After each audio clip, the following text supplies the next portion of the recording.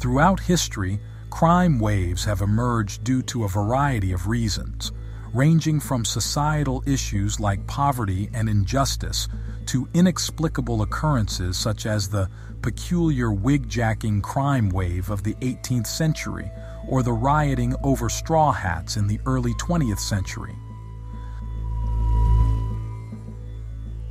Back in the day, fashion rules were no joke. They were actual laws, and breaking them could land you in serious trouble like in medieval England, where people were punished for wearing the wrong colors or fabrics based on their social status. And if the government wasn't policing fashion, then the public took matters into their own hands, leading to violent hat riots in America.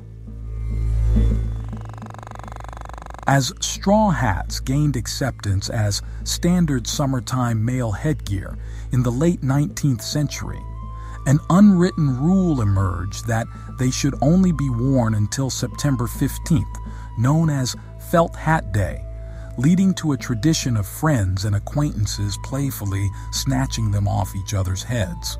But it eventually escalated into violent crime and widespread rioting as strangers joined in on the hat snatching frenzy.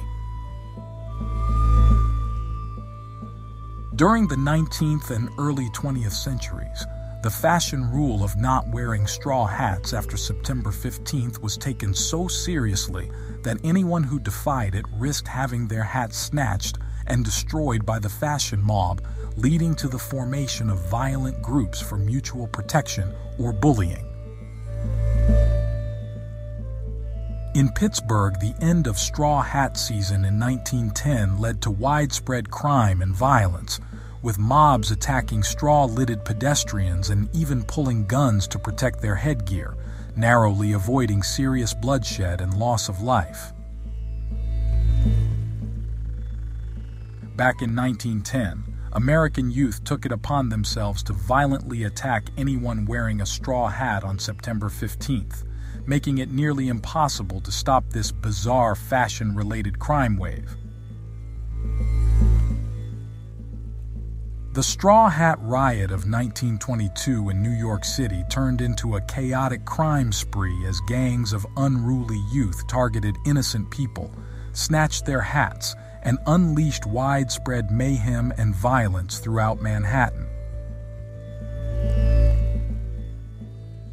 The 1922 Straw Hat Riot in New York City lasted for days, with widespread mayhem and traffic disruption on the Manhattan Bridge. Youth gangs armed with nail-studded clubs intensified the crime spree, targeting straw hat wearers who were lucky to escape with just losing their hats, while others were brutally beaten. The rioting continued for days, spreading across Manhattan, including the Upper West Side where a mob of over 1,000 people was reported snatching straw hats on Amsterdam Avenue.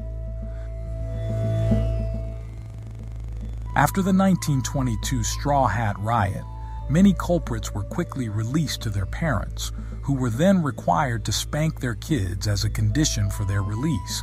But the violent tradition persisted, leading to a murder in 1924 before straw hats eventually went out of fashion during the Great Depression. During the Victorian era, the bobbies of the Metropolitan Police Service in London were despised by many, seen as parasites who avoided honest work and lived off the taxes of honest men, leading to them being frequently mocked and attacked. The working and lower classes in Victorian times held a strong dislike for the police, who were seen as suppressing their beloved recreational activities and customs. As a result, Many Victorians actively despised the police and would go to great lengths to make their lives miserable, often resorting to violent crime waves specifically targeting law enforcement officers. Approaching private residences, even for the purpose of ensuring security, was a risky endeavor for Victorian police as they faced hostility and violence from residents who resented any interference in their domestic affairs. During the Victorian era, Violence against police officers was not always motivated by a specific purpose, but rather for the sheer enjoyment of it, with Londoners leading bobbies on merry chases or attacking them out of the blue. Some working-class gangs even went as far as setting up elaborate ambushes, using tripwires to spring booby traps on the unsuspecting cops. During the 18th century, wigs were so valuable that they became a prime target for thieves, leading to a crime wave of wig robberies.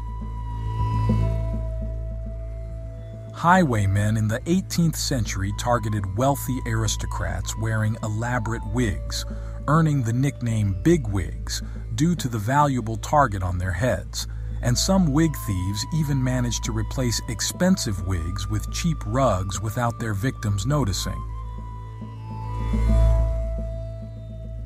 In centuries past, Christmas was not the peaceful holiday it is today, but rather a time of drunken riots and widespread crime, with the streets transformed into chaotic scenes of free-for-all brawls.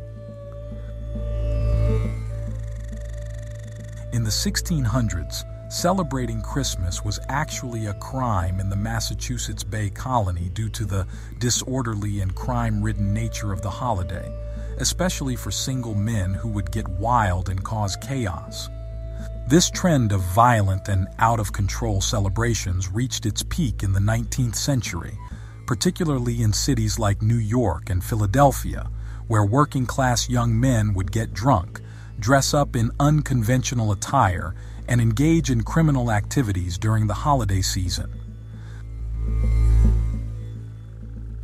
Philadelphia's young and intoxicated Christmas revelers, known as the early mummers, would gather in gangs, terrorizing neighborhoods with their off-key singing, banging on pots and cowbells, demanding free drinks, and engaging in petty crimes and acts of violence, serving as a stark reminder of the simmering class conflict in America.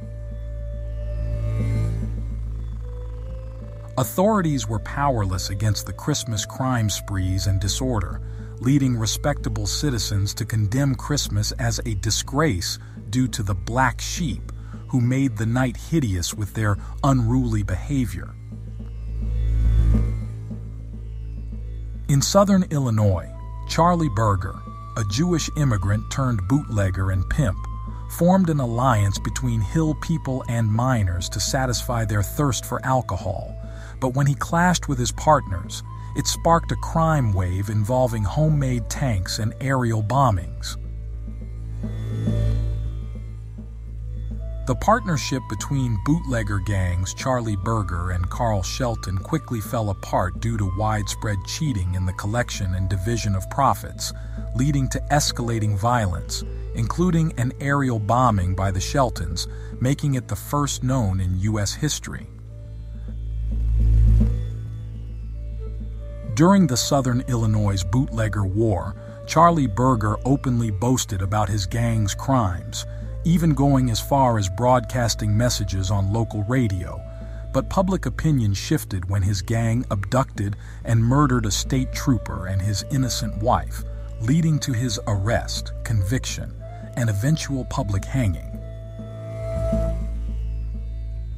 Zoot suits, initially embraced by African Americans in cities like Harlem, Chicago, and Detroit, soon gained popularity among jazz singers, entertainers, Italian Americans, Latinos, and Filipinos, but their ethnic origins and unique style clashed with the more conservative and racist individuals. Zoot suits once seen as declarations of individuality and freedom, became targets of backlash during WWE 2, with wearers being verbally and physically attacked and even killed over their fashion choices. In the lead up to the Zoot Suit riots, Los Angeles newspapers fueled racial tensions by sensationalizing a fictitious crime wave supposedly caused by Mexican American youths leading to a media frenzy and unjustified arrests of hundreds of young Mexican Americans for simply wearing oversized clothing. The situation worsened with the wrongful convictions of nine young Mexican Americans for murder, which only fueled the already rampant anti Mexican American sentiment in LA.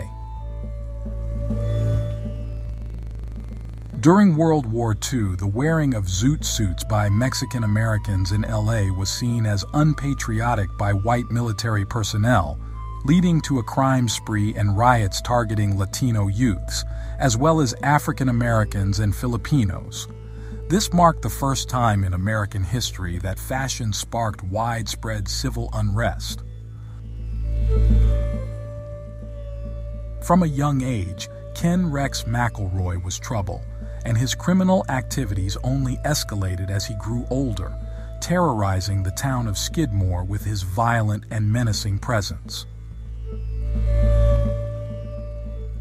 McElroy's reign of terror in Skidmore was so effective that, even with numerous indictments, he managed to escape conviction as the terrified community remained silent, too afraid to testify against him. In 1971, a 37 year old McElroy began a relationship with Trena, who was just 12 years old at the time, and two years later she became pregnant. But when she tried to escape his mistreatment, he refused to let her go. In an astonishing turn of events, Ken McElroy managed to force Trena, his victim, into a marriage to avoid facing charges of child molestation and statutory rape, despite this happening in mid 1970s America. Despite being illiterate, Ken McElroy was cunning enough to know that his intimidating reputation was his greatest defense, so he selectively targeted weaker individuals and followed through on his threats just enough to make people believe he would do what he said he would do. In April 1980, Ken McElroy's reign as the town bully came to an end when his wife, Trena, confronted the elderly owners of the local grocery store, accusing them of accusing their daughter of shoplifting, leading to a profanity filled tirade and ultimately sealing McElroy's fate. McElroy's relentless campaign of terror against the Bowenkamps included constant surveillance, gunshots in the air, and ultimately, a brutal and fatal attack on Bo Bowenkamp in 1980. Skidmore's residents, desperate for help, reached out to every authority figure, pleading for action against the psychopath in their midst, but their pleas fell on deaf ears. However, when McElroy violated his bond and threatened revenge with a rifle, it was the last straw. In a final act of desperation, the people of Skidmore took matters into their own hands, confronting Ken McElroy and ultimately ending his reign of terror with a hail of gunfire, leaving him lifeless in his truck as the town retreated into the night. State troopers arrived in Skidmore to find the streets empty, except for McElroy's still running truck, and although shell casings were recovered, the weapons used in the public killing were never found, leaving the unsolved homicide as a testament to the town's ability to keep silent. In Canada, the Doukhobors went from being an odd religious sect to a dangerous one, known for their mass nudist protests and infamous for committing massive arsons, creating one of Canada's strangest crime waves. The Doukhobors, a Russian cult, migrated to Canada in 1902, but their refusal to swear allegiance to the crown led to their loss of land and bitter resentment towards the authorities. Led by Peter Verigin, the sect established communal villages in British Columbia, where Verigin maintained control by flogging his nudist followers with brambles. However, after Verigin was blown up with dynamite in 1924, the Doukhobors descended into chaos, with rival factions engaging in increasingly wild and criminal activities. This radical splinter group, which emerged after the assassination of their sect leader in 1924, went to extreme lengths to reject modern society, even resorting to religiously driven crime waves where they would burn homes and destroy possessions of Doukhobors who embraced modernity, all while parading naked to mimic the simplicity of Adam and Eve. The radical Russian religious migrants known as the Freedomites shocked authorities with their mass nude parades, leading to the criminalization of public nudity and prison sentences for their naked protests. The Freedomites also turned to violent crime, raiding and destroying the homes and factories of other Doukhobors as punishment for straying from their simple life. The Freedomites, a sect in British Columbia, went on a crime spree for decades, bombing and setting fire to over 1,100 targets, leading to the authorities imprisoning nude protesters and taking away their children. The violence reached its peak in 1962 with 259 bombings in one region, but the sect was finally dismantled when 60 leaders were arrested and charged with conspiracy. Since then, peace has prevailed, but the number of Canadian Doukhobors has drastically decreased.